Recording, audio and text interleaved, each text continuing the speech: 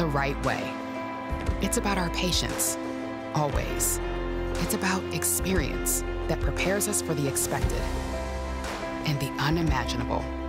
It's about collaboration because we're better together. It's about empathy, not only for our patients, but for one another. It's about innovation, in the moment, patient by patient, day after day. And it's about faith that never wavers. That's the right way to care.